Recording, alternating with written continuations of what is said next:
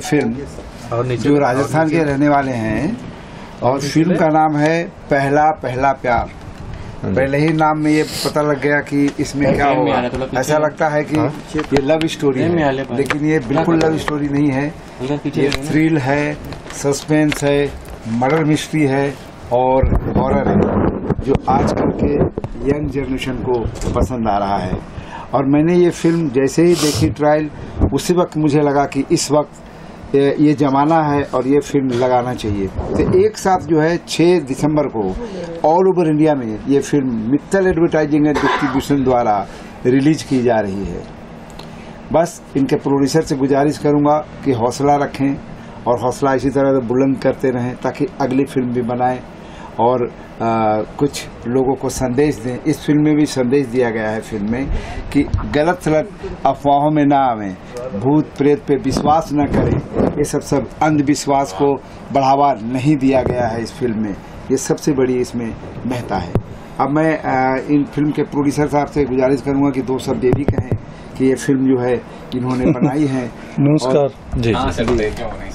देखिए मुझे कोई अनुभव तो कोई है नहीं इसके लिए। पहला पहला प्यार के बारे में बात करते हैं सर। इतना उम्र हो गया प्यार होते होते अब जाके हुआ है आपसे। आपको नहीं क्या ऐसा कहना नहीं है। पहला पहला कोई किसी ने मेरे को ले आके कहानी बताई तो फिर सोचा कि मित्तल साहब को दिखाया। फिर ये कहने लगे ठीक है इस पे आप करना ये। तो फिर ये पहला पहला प्यार ओके कहानी कहानी वगैरह की अगर बात करें तो क्या कैसे जहन में आए कि हाँ इस तरीके का।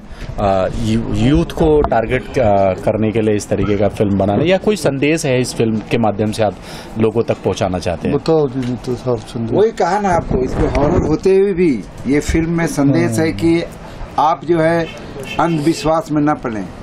ये जो टोन ये सब जो होता है उसमें आप विश्वासों में ना आए क्योंकि ये सब सब भ्रम है। कोई भूत प्रेत नहीं होता है। ये हमने इस फ़िल्म में बताने की कोशिश की है प्रोड्यूसर द्वारा कि ये सब चीज़ कुछ नहीं है। इसमें आप ना पढ़ें और आज के जनरेशन तो बिल्कुल नहीं। हाँ इसको आप मनोरंजन के तौर से ले सकते हैं।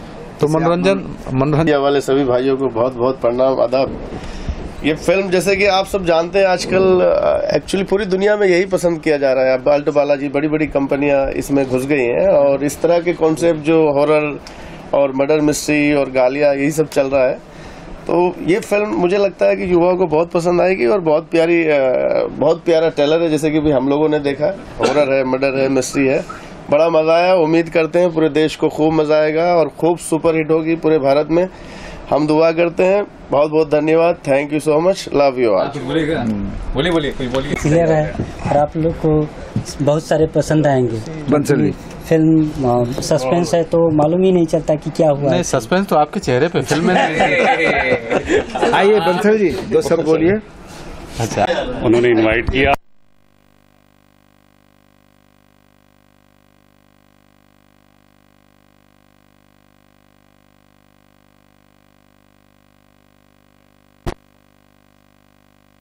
उम्मीद करता हूँ और प्रार्थना करता हूँ।